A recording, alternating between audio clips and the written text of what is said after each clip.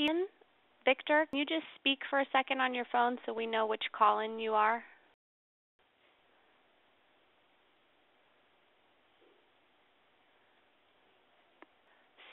Steven, Victor, can you mute yourself and talk for one second so we can identify you?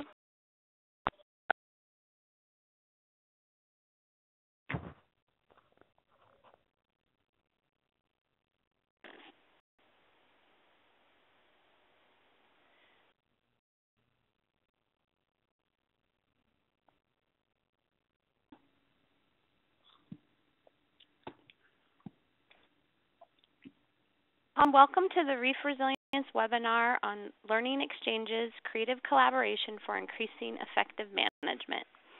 My name is Petra McGowan. I'm the Project Manager for Nature Conservancy's Reef Resilience Program, and I'm going to be the host for the session. The webinar is brought to you through the generous support of the John D. and Catherine T. MacArthur Foundation and NOAA's Coral Reef Conservation Program. Before I introduce our speakers, I want to let you know how the agenda will work for the webinar. Basically, we start with presentations from our panelists, and then at the end of the webinar, we do questions from those of you participating in the webinar. There's ways you can ask questions. You can use the chat box anytime throughout the webinar to send questions to the webinar host, and we're going to keep track of those questions for the end of the session. A way to ask questions are raising your hand during the question and answer period, and we'll take your question in the order it was received. If to raise your hand, you click on the small hand icon at the bottom of the list of participants that you see there in your webinar box. Any technical difficulties, trouble hearing or seeing the slides, you can also use the chat box to talk to the host and let us know and we can work on trying to resolve those. So introduce and welcome our presenters. Manuel Mejia has been TNC's Hawaii Community-Based Marine Program Manager for the past six years. Prior to that, he managed Tubataha Reefs, a UNESCO World Heritage Site in the Philippines for World Wildlife Fund, and coordinated the locally managed marine areas network across the Asia Pacific region. He also spent time as an analyst with the Biodiversity Conservation Network, a USAID funded project, examining how nature and community based enterprises impacted biodiversity conservation throughout Asia Pacific. His passion are people and our oceans, and he was a at McGill and Columbia universities where he focused on natural and earth sciences and environmental policy presenter with, with Manuel is going to be Steven Victor. He's a regional conservation planner for TNC Micronesia with a master's in marine biology. His research interests include coral reef biology, MPAs, and evaluating anthropogenic disturbances on reefs. He's interested in bridging the science to communities that will help them make appropriate decisions regarding natural resource management, as well as learning about the traditional knowledge and wisdom that communities have with respect to their resources and the natural environment. And our third presenter is Angela Hi'ilei Kawelo. She's a native of Kahalu'u, Oahu, and has been the executive director of Paepae, Paepae, Paiohia, a nonprofit organization dedicated to caring for ancient Hawaiian fish pond located on the island of Oahu. She's been executive director since 2007, previously serving as an educator, facilities manager, and restoration coordinator for the organization. He is raised in Kahalu'u by her skilled fishing family and has been a student to the art and science of fishing and Kaneohe Bay her entire life.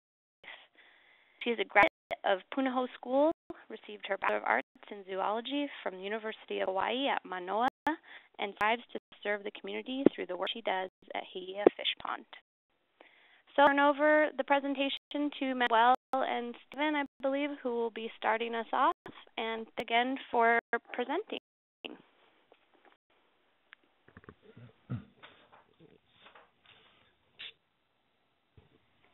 Um, this is Manuel. Um, Ali, and good afternoon to everyone. Um, very fortunate to be joined by my friends and colleagues, uh, Stephen and Hi'ilei.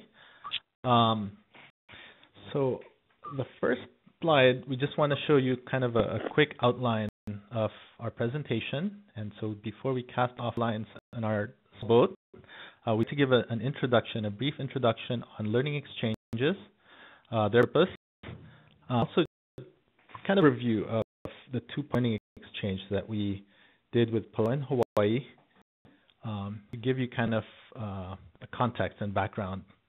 Um, focus will be on reflecting on best practices uh, and lessons learned during this trip. Uh, it's by no means exhaustive, but um, hopefully some of it will be useful. Third, we'll, we'll, briefly discuss measuring outcomes and potential impacts as a result of these learning exchanges. And fourth, uh, we're fortunate enough to have Hi'ilei uh, present her perspectives uh, on the trip, kind of a first person someone outside TNC who could uh, talk about what the trip meant to her and how we could improve upon future ones. And lastly, take uh, we'll field questions at the end.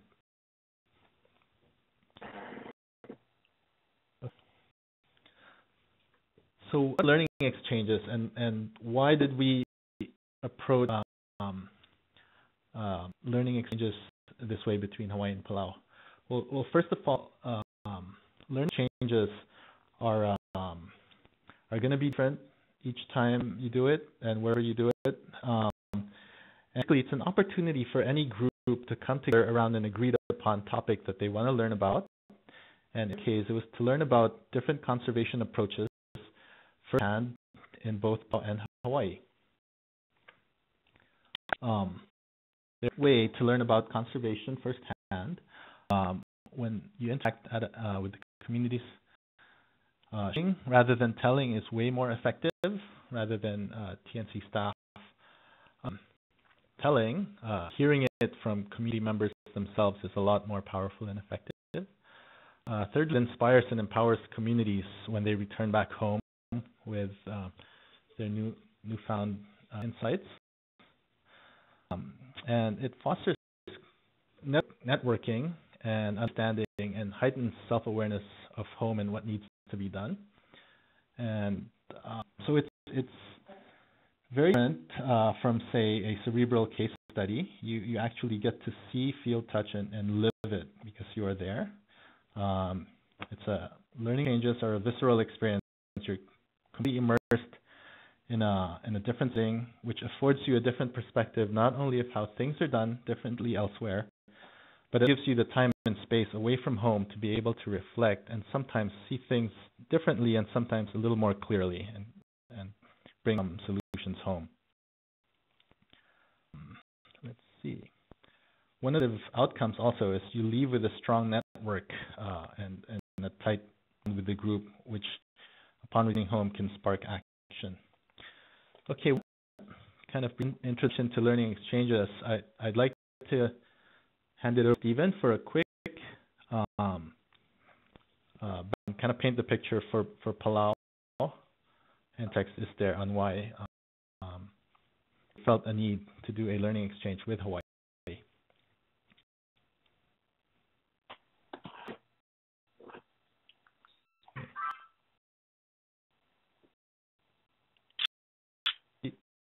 Look, we're we can't audio for Steven.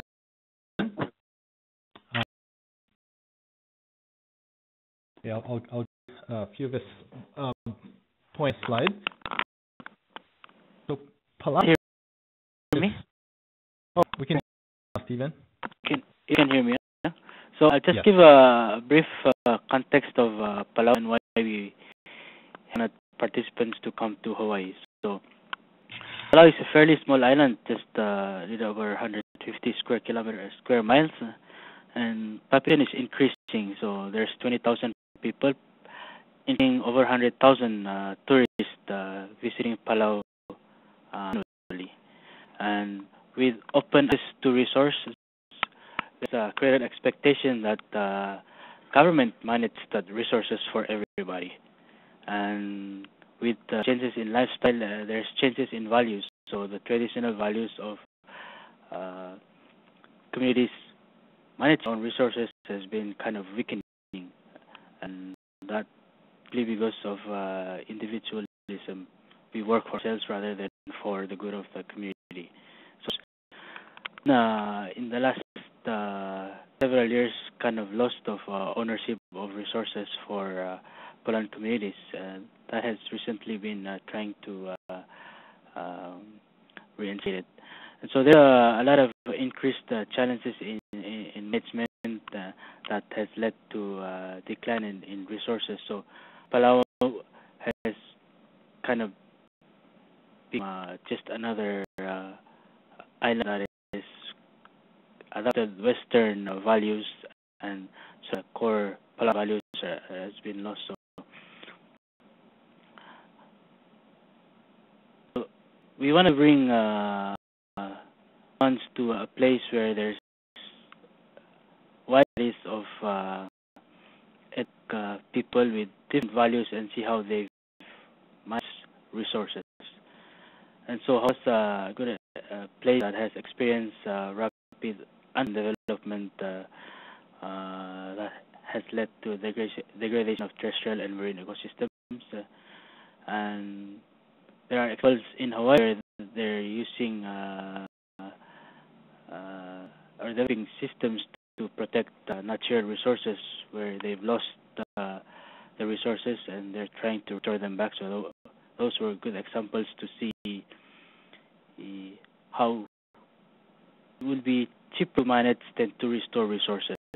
So those were the objectives, uh, and there are good uh, watershed managers working to improve uh, and rehabilitate the ecosystem function.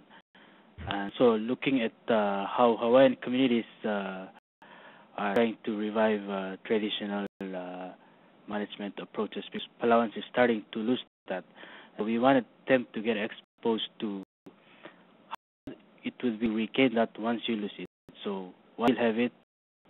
Uh, we have it. We wanted them to try and hang on to those uh, uh, approaches and, and, that still exist.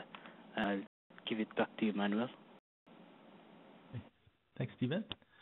Um, I'll, I'll, paint the picture that the modern context for Hawaii and um, similar to Palau Island ecosystem, uh, very biodiverse, uh, extremely uh, endemism, but also very human pressures.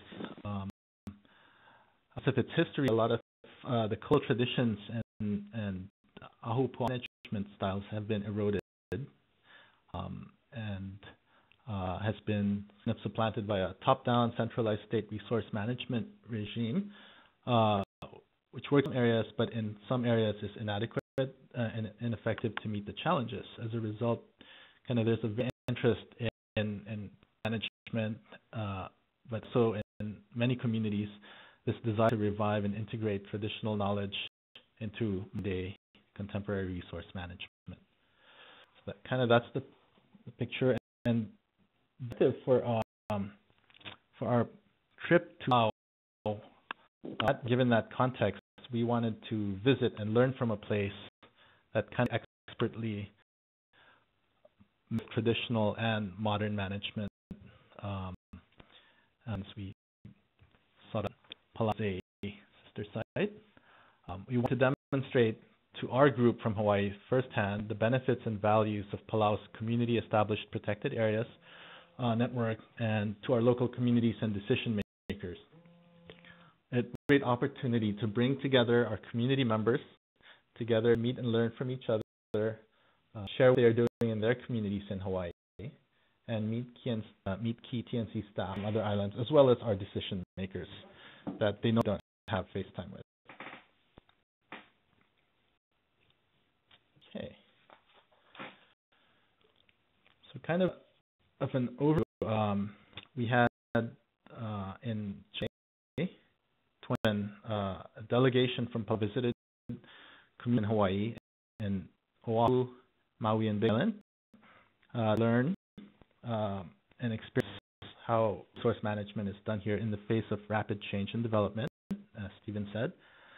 And then the following February 2012, uh, 27 people from Hawaii, American Samoa, and the mainland U.S. visited Palau for learning exchange about um, how Palau does it. So, uh, quick break 20 community members um, Hawaii, two delegates from American Samoa, and five TNC folks from the U.S. mainland, including a film crew, to do an educational program for middle school students. Now moving on to uh, best practice that we gleaned from from this trip. Okay, uh, we share with you some of the best practices that we learned from this trip, and again, they they are by no means exhaustive. Uh, they're sort of just what we learned from our experiences and what we wish we had better. There were some key practices that we thought um, needed done well in order to have a successful learning exchange. Uh, and I missed it uh, in the planning stages, basically before the exchange itself, and just importantly, the, the follow through afterwards, after the trip. Um, hope you'll find some of these best practices instructive and useful if you're planning a learning exchange yourself. Okay. Okay, the first um, practice, number one, in the in the pre-planning phase, that we identified was very very clear on the purpose. What is the purpose of your learning exchange? And this pretty much sets the tone for the entire um, entire. In fact, without this very clear purpose, most likely won't get funding for this trip, which is a critical first step. But when I have this, um, uh, very important to have very clear uh, learning exchange objectives. And as an example, Steven and I will go through unique objectives.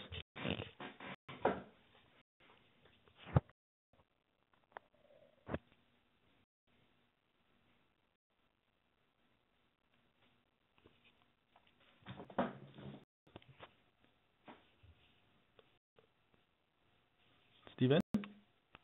My turn? Oh, sorry. So, for the Palau objective was to really go and learn what Hawaii has done in terms of uh, development can learn from in terms of what done, but especially what not to do in an island system. And there are examples of uh, uh, infrastructures that are not compatible with islands that have been uh, constructed in Hawaii, and those were some things that uh, we wanted to see how they were and, and learn from how it could be adapted to fit uh, Palau context. And then also at the approaches in natural management in Hawaii, as Manuel mentioned earlier, it's uh, a top touch to management. Uh, and Palau, we have uh, kind of both. So we wanted to see how approach uh, works and how we can marry the two together. And so that's what the objectives for the Palau Palauans going uh, to Hawaii. And back to you, Manuel. Thank you. Um, Hawaii group visit Palau. We had three top uh, objectives. One was to understand Palau's resource management and conservation practices, especially when it comes to merging traditional with modern conservation management. So that was the first one. Second was to learn the key challenges and lessons in engaging with communities to gain support for conservation um, in Palau. We wanted to expose our group to SAR because they're they're about to embark and they're actively uh, doing community-based conservation. So we wanted to take them to a place that this is this as well. And thirdly, we wanted to understand current efforts by the government and um, in Palau for conservation management of their natural resources. So it's um, with this being clear, it's also very important to communicate this with with our audience and kind of the clear objectives uh, then informs uh, activities and audience who is coming. Next. So um, in terms of um, determining what activities we wanted to expose our group, group to visit uh, waters as well as marine sanctuaries that they could um, see and experience and see how and run. The, the objectives also kind of dictates who should be invited and who should come. And um, just had a few um, about how to how to select your group uh, participants. Uh, and it's very important to note here that the right cast matters. It's uh, it's to have a good mix of backgrounds, generations, and different roles within that group. And we invest a lot of thought and care in in the participant selection.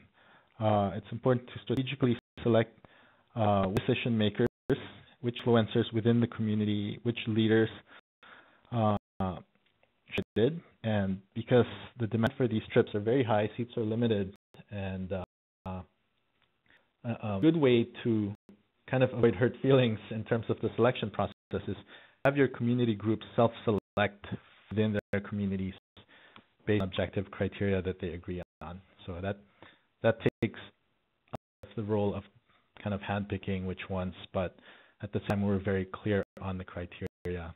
You know, and and sometimes it's good to ask some good questions to consider in in your group are who is your audience?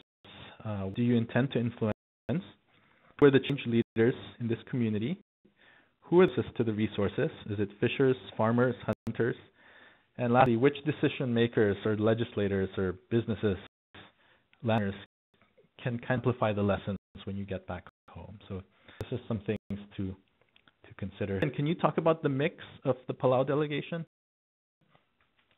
Get into that a little bit. Uh, so from a Palau's perspective, we kind of talked to the communities on what we would hope for the participants on this change to do when they come back home. So we gave them some criteria on how they would participants, and mainly we wanted them to choose people who can influence, uh, as Manuel says. So when they come back, they can keep talking to communities. They bring the lessons, and then they spread it throughout the community. So for we uh, worked with uh, our various partners to uh, select participants that uh, range from uh, national uh, congressmen to fishermen to local policymakers and local men who uh, are influential in city activities. So we're hoping that by targeting them, they will bring the lessons, and then they will target these different stakeholders uh, at the national uh,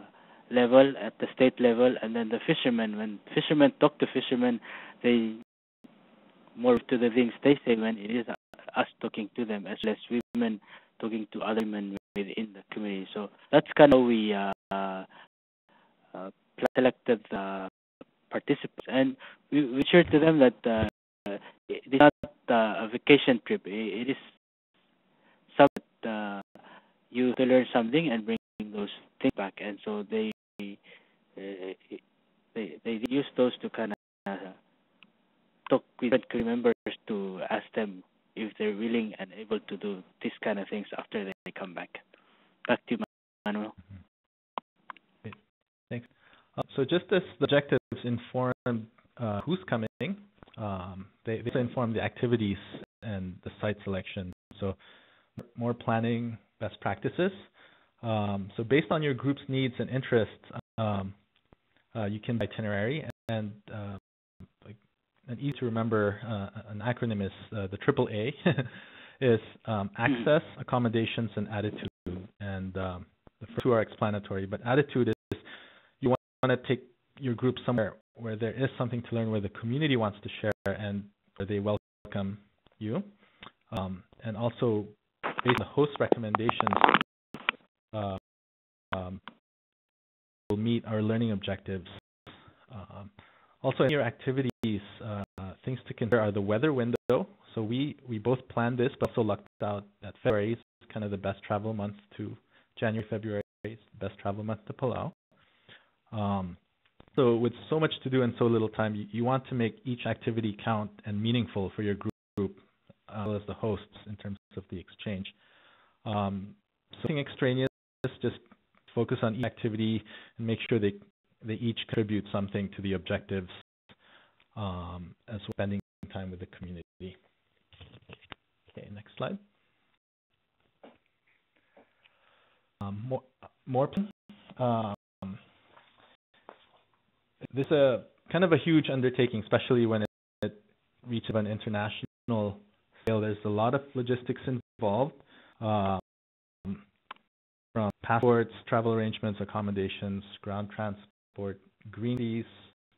Uh, important to kind of um, make sure core team, you know, which is the internal and key planning partners group, stays on top of all of these um, details because uh, our job is to make sure the trip goes smoothly so that the group can focus on the learning.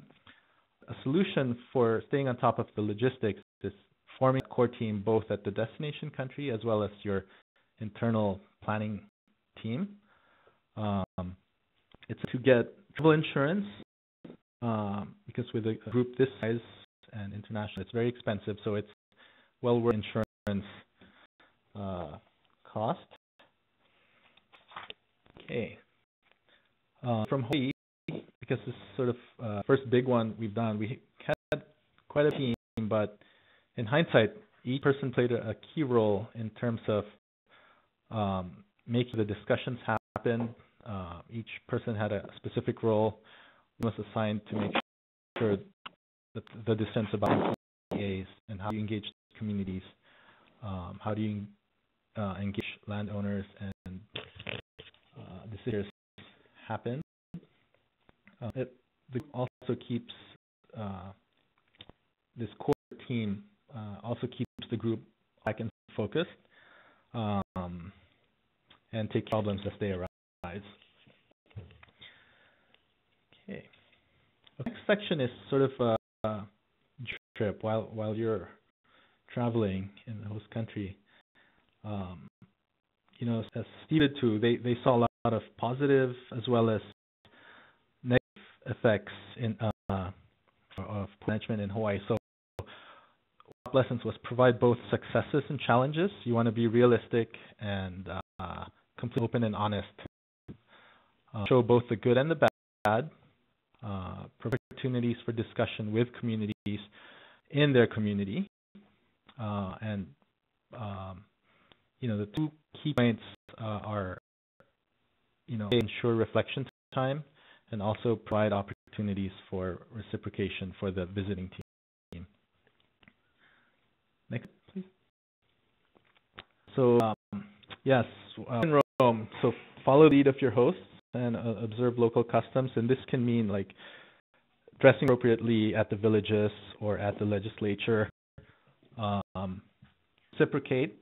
Um, uh, the group felt very strongly about this, and a lot of them prepared something from their home, uh, from from theirs, to present to their hosts, um, and and all prepared with speakers. So for this group, we were very fortunate that we had uh, our Department of Land and Natural Resources Chairman, William Aila, as well as um, well-respected uh, community Kaho'ohala, who, who kind of uh, spokespeople for the group, as, as well as Hi'ilei. So just being prepared to speak publicly on behalf of the group was, was uh, very important to have those key people.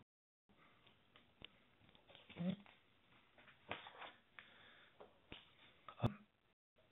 important to provide opportunities for leaders to be able to interact and have discussions.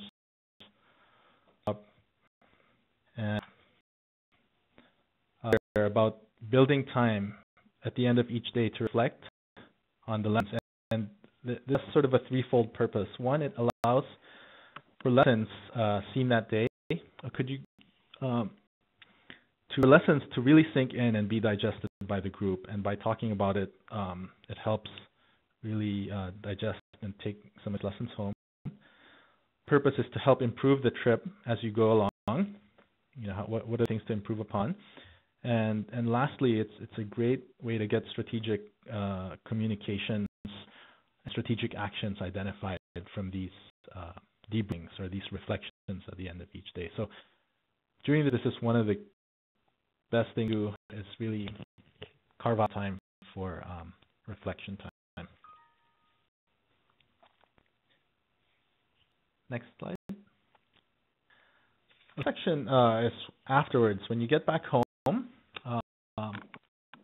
stay in touch with, with the group. You know, you've come away from this amazing experience and you want to stay in touch. And that's one of the benefits is you enhance and stre- strengthen kind of links between different communities across Hawaii. Um, you manage of conferences and other events such as the Hawaii Conservation Conference, where uh, a lot of the Palau folks came to visit, so that was a great opportunity to get together with our with our hosts um, and share with your community. And um, by this, we kind of mean encourage uh, getting stories out in the media. You know, whether it's through writing of articles or doing interviews. I know they did an interview with NPR. Um, but these, uh, these articles don't write themselves. So um, the key lesson we got from this is kind of staff time. And, and in this case, we were very fortunate. We had a communication specialist, Evelyn White, who assisted um, in in the creation of these articles, uh, as well as package press releases. So that's a lot of uh, of carving out that staff time to get your messages out there. Track uh, impacts if possible. And um, next slide, please. By track, we, we kind of mean what what are the outcomes and measurements. So, you know, in the field of conservation, the ultimate measures of success are biological. So things like abundance, species richness, acres restored, biomass, etc.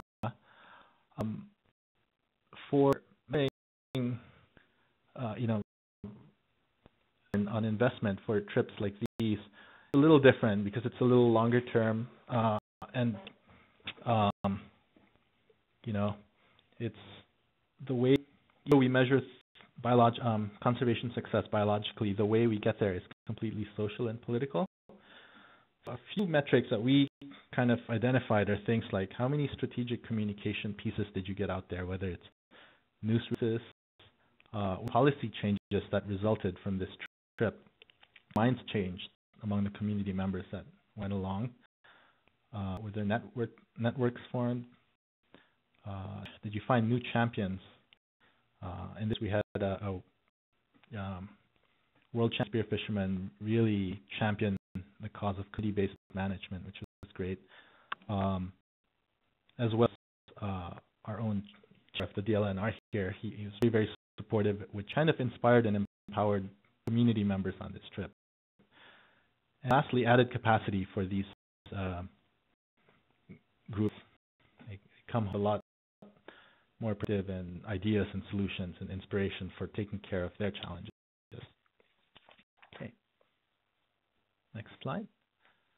In summary, uh, those are just a few best practices that we've identified. Uh, your planning and the pre-planning will, will pay off handsomely. It, it makes for a smoother trip. Um, there's problems that will arise, but you'll you'll better prepared to handle them. If you have a core team as well prepared.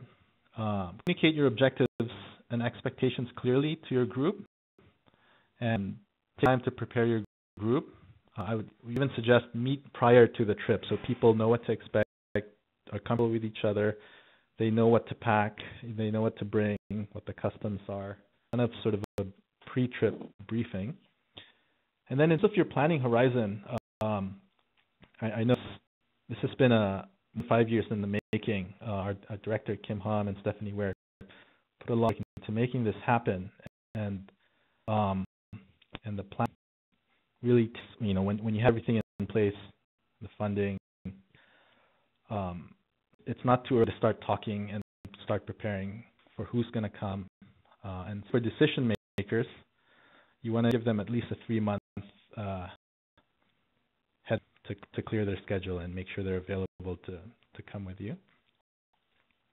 Um, and you need a core team to, to fully commit to this uh, and uh, be able during the trip, but overall learning objectives. Um, that's it for uh, best practices. Um, we I would like to now hand it over to to Hee for for her reflections on the trip. Great, mahalo.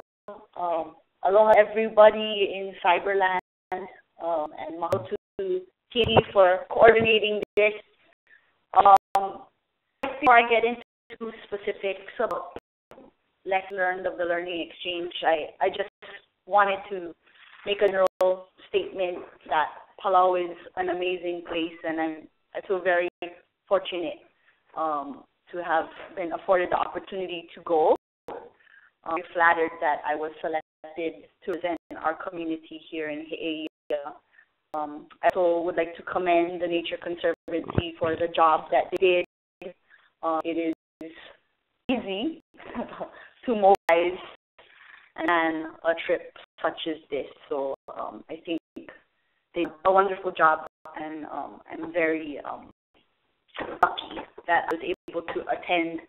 Um, I just have some notes here, and much of what, what I, I'm, I'd to share has already been articulated by Manuel. Um, but I think where I come in um, is I come with these per- perspective and oftentimes um, um, for me in advance if, if I am candid and honest. I think that's one of the better attributes. So um, I'm gonna start listing some of the lessons that um, that I learned. One was um, was that you know when I was asked to attend um, to Palau, um, I really had no background. Um, just asked, hey, can you go to Palau? And and of course I made myself available. Um, and in hindsight, you know, I, I think that most of us community um, representatives would like to um, bring in a little bit more um, briefing prior to us going. Um, maybe uh, some orientation meeting of, of what I suggested, um, where you know those goals and, and the purpose of, of the learning exchange could be articulated um, to the community representatives, so that everybody is on the same page. And um, also during orientation meeting, I think making clear those expectations um, of of the community representatives um, would I think, important. Um, making sure that the community representatives understand in full um, what is expected of them. Um, I just that you know all of those things should have been laid out prior to us going, and then prior to TNC purchasing tickets um, for for as representatives. Um, another another um, lesson that I learned, and this this maybe didn't come up um, in my sharing, but um, in that in the work I do here in the community, um, I'm I'm the executive director of a nonprofit organization, um, and folks associate my face and my name with the organization. Um, much is the same with many other organizations and many other communities that we work with. Um, you know, when when selecting those representatives to to participate, I think ideally you want that that face to to attend and to to represent the community, but oftentimes maybe that representative is able to to free a schedule or unable to attend. In which case you know, uh, ideally, if you could, if that representative could name someone else to go in their stead, wonderful.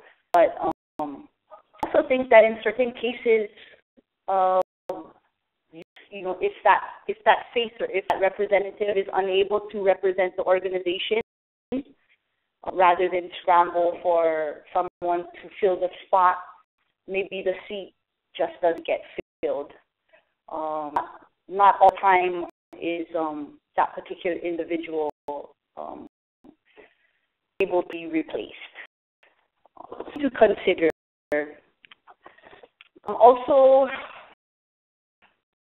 I mentioned meeting would be beneficial um, for us as community representatives while in Palau is very important and even elsewhere to respect the host community and host culture.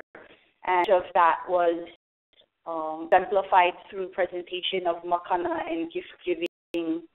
Um, but also, I think where this might come into play is during the orientation meeting prior to going on the trip, um, preparing representatives for this through um, learning a couple of or chants um, or a couple of songs um, or you know maybe knowing knowing that that particular host culture is is maybe big on song and dance from a couple of individuals that are able to play music. Um, luckily, we had Uncle Sol with us, and um, maybe one sin that is able to dance hula. Um, it's been nice. Um, also, I think um, let folks know and letting representatives know that um, it's their responsibility and an expectation to be a spokesperson on behalf of their host, on, on behalf of their organization, and on behalf of of um, our home, our home of Hawaii. Um, definitely, there were there were um, folks charged with that, like Uncle Sol and Uncle Bill, and at times myself. But it would have been nice um, to have had the opportunity to step up to the plate and amplify their leadership skills by um, by just being able to to articulate themselves in, in front of a group. I think that's a skill all leaders of communities um, to learn. Uh, what else? Oh, I guess and and you know after the trip coming back, um, there was initially when we first returned home, there's a lot of ask um, the Nature Conservancy for us to um, do talk shows or to appear on the news or to write a couple of articles was great. But soon after we returned, a couple of months later, that sort of slowly fizzled. And um, it sort of got to the point where I almost forgot my experience in Palau. Um, but getting opportunities to to engage with with um those community representatives on a more regular basis, I think could help um, just move um, move um, things forward. Uh, one other thing I think I wanted to share was um, the importance of reciprocation uh, for our um, folks here, our local our local code here. Um, the mandate they they were a red carpet for us when we when we visited and um and for for me and my ohana and my community reciprocation is so important and um when some of our uh, Palauan hosts came to Hawaii for the Hawaii Conservation Conference in July, um, us put together a, a gathering here at the fish pond. Um, you know, a deal, but um, just the just the act of reciprocation, um, allowing hosts away from the Waikiki scene.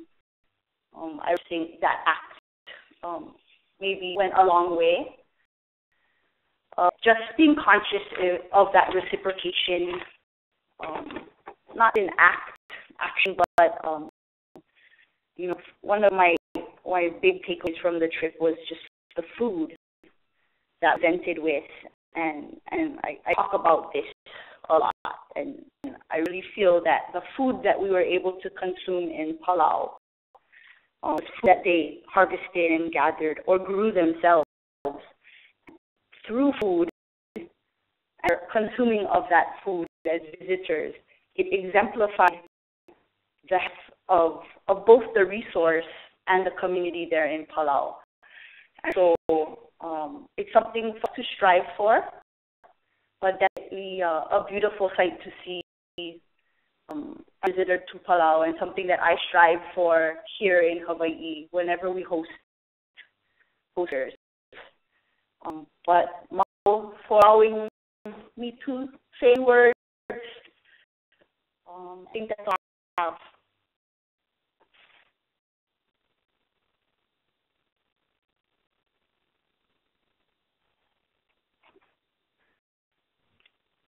Have. Uh, you can see the learning exchange uh, trips are are a big undertaking to to run smoothly, uh, and this would not have happened without the support of um, MacArthur NOAA's Coral Reef Conservation Program, uh, Harold K. L. Castle Foundation, the Maui uh, Office of Economic Development, Hawaii Fish Trust, and the, and the Nature Conservancy. So thank you um, and and uh, now. Great. Um, thank you so much for presenting, um, Steven, Hi'ilei, and Manuel.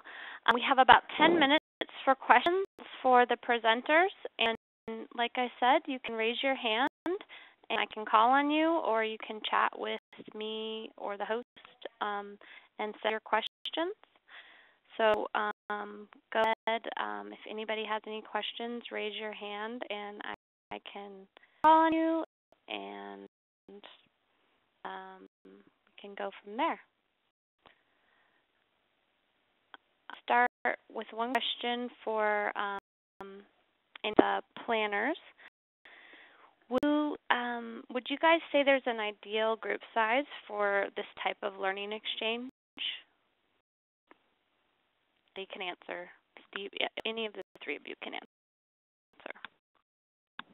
First, and then uh, Manuel. I think uh, for uh,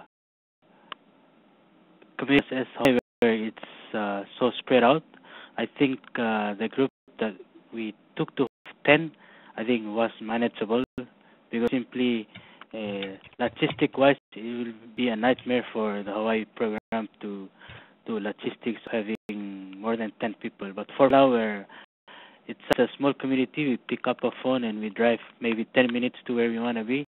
I, I think uh, 25 was uh, good enough size uh, for us. So long as uh, there are also people within the group that are able to kind of take uh, people with that group and kind of uh, uh, help them uh, through the discussions and, and, things like that. So that's my perspective of uh, it, it, really depends on how complex the communities that take people to that kind of dictate how many people can we manage when we bring them in. Yeah. I agree with uh, Steven. I think it's uh, bottom line is your budget.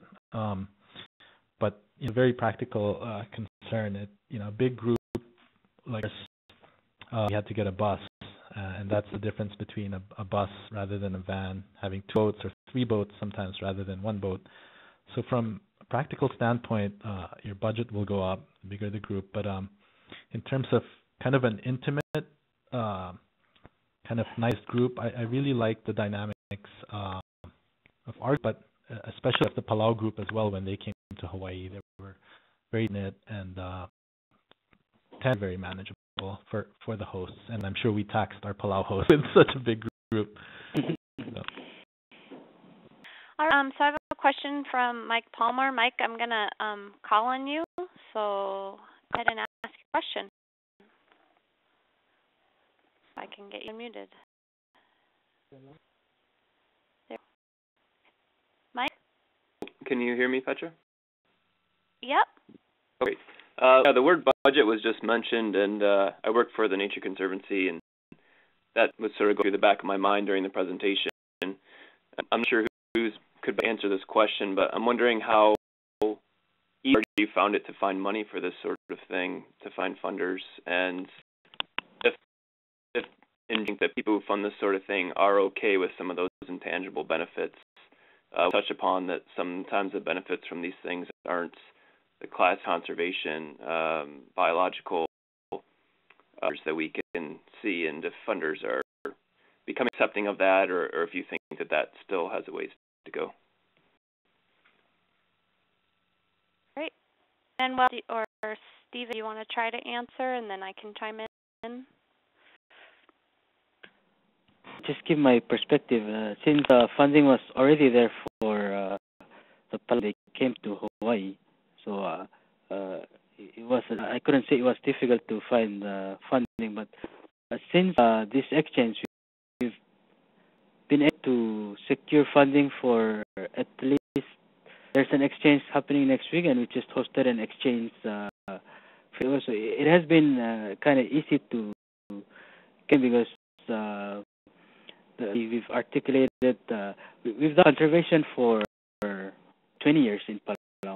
And the biological benefits it's there. It's really the community hasn't really been able to experience those benefits. So you can see uh, where others are really struggling to ensure benefits, make them more willing to do conservation. So how articulated uh, that to our funder has been uh, it's really moving conservation beyond just uh, pilot measures, but really measuring what people uh, can get and, and get experience that can further inspire conservation to move uh, ahead beyond uh, what we normally do. So it is kind of easy for us to get funding for learning exchange that we've done uh, since the Hawaii exchange. Mm-hmm.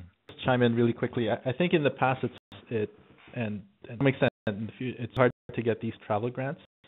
Uh, in our case, we had some really good funders uh, that were able to articulate our objectives. Um, you know, Mike, you mentioned some of the intangible benefits. I think one of the key things to stress when you're trying to fundraise for this is the powerful and catalytic nature of these trips. That you do get so much back, you know, both socially and politically from these trips. They have such great potential to, to change things home. Um, and perhaps going into the future, I, I think we would have done um, probably more specific about metrics we used and to track those, you know, especially donors that need to justify uh, learning exchanges. I, I know Petra, you have more experience in this, so. Yeah, I don't, I don't, I want to allow time for other questions, but I think it's a really good question, and um, I think we've been really lucky with a lot of support from um, certain to give some from in exploring the potential of these learning exchanges in the past years. And it hasn't always been the case. And I think um, showing the outcomes is going to be critical to maintaining that kind of funding into the future. And that's since we wanted to start documenting these lessons better and communicating them so that we can keep, um, keep to get dollars for this type of work that we do feel really makes a difference, but that has those intangible outcomes. Um, and so I think another strategy behind the fundraising is if you see the different partners that Hawaii and Palau pulled together to make it happen, it's not just relying on one funder, and often um, they're able to get support from uh, like Hawaii Trust to support one or two different members of the exchange. So it made it something bigger than um, originally envisioned. So piecing together once you have an initial idea can also be a strategy that can work. Um, some donors are more comfortable just sponsoring one or two participants. Um, I answered your question, but Mike, please feel free to explore this more with the panelists, you know, over email and stuff if you're interested. I want to call on, oh, I thought there was another question. Um, okay, hold on. Let me get Ron. Where is it though? Oh, sorry. My chat box. So I have a question from Rod Salm. Um, he wants to know Have any real changes been made in resource management or partnership practices as a result of this exchange? I'll let, I'll go ahead, guys. Looking for the Pensacola uh, The tandem. So, mm-hmm. so in, uh, in, there has been uh, uh, a lot of changes, but it's always difficult to say it's because of this. Because a combination of uh, different things, and this exchange has been one of them that uh, create some act of uh, strategy that uh, if you look at how things have been done, you can kind of see the aspect of the that people have learned in, in the doing things. So not 100%, you, you can 100%, but then you can say there are of what people that related how they were exposed uh, to issues because of this learning exchange. Mm-hmm.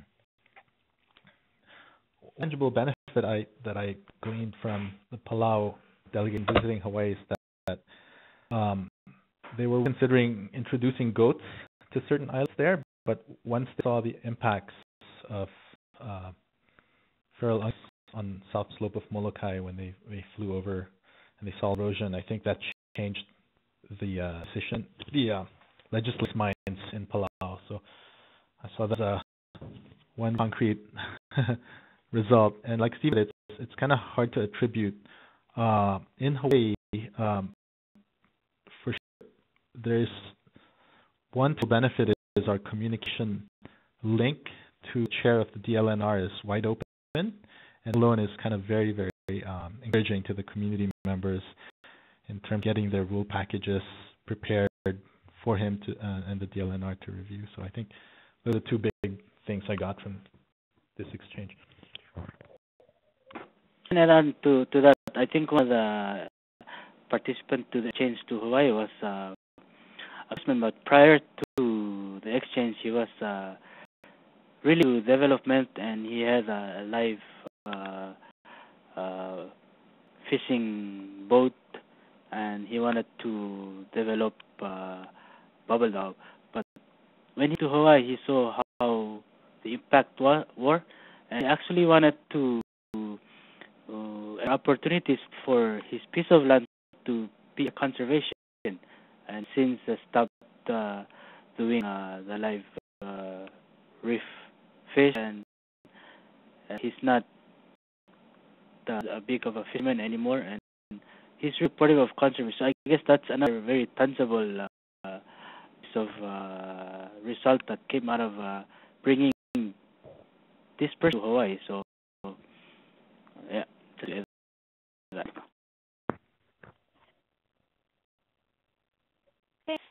Um, I wanted to um, um, as a um, a call on him and see if he's willing to share.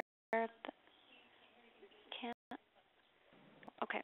Um, so a comment from Sol Kaho'ohalahala, who was another participant um, on the exchange, is that um, he supports the comments shared by Hi'ilei coming from the community perspective, um, but he wanted to add that the cross-cultural mixing of the group left um, without proper knowledge and or protocol of our group members and also that of the host country.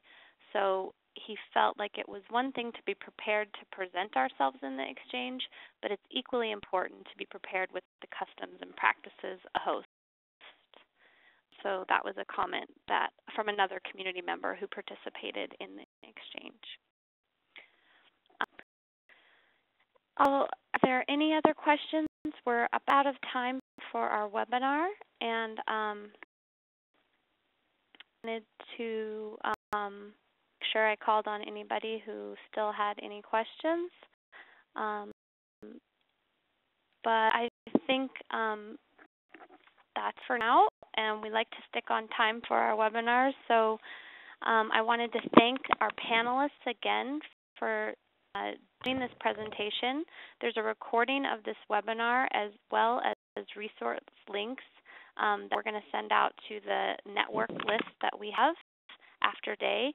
If you're not on our list of network members, um, you can email us at resilience at tnc.org to be on that list, and you can send us any suggestions for future webinar topics um, to that same email. Um, are some resources on the slide you'll see on the screen um, in regards to this learning exchange and our panelists. And I also wanted to announce to those um, on webinar right now that we are recruiting applicants for training for on reef resilience for coral reef managers. It's in the Western Indian Ocean, and so countries uh, managed from that region are eligible for the training. But you have colleagues in the uh, area of the Western Indian Ocean, please notify them of that training opportunity. Applications are open now. And, um, again, thanks for participating in our webinar. We would like any feedback that you have for us. We do about six of these a year, and we're always looking for topic ideas and how to make them useful to you as a participant. So look for more announcements on upcoming webinars in 2013. And thank you again. Thank, thank you.